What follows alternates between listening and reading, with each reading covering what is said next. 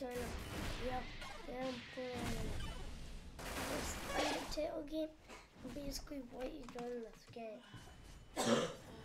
you gotta, uh, you gotta just pick an Undertale show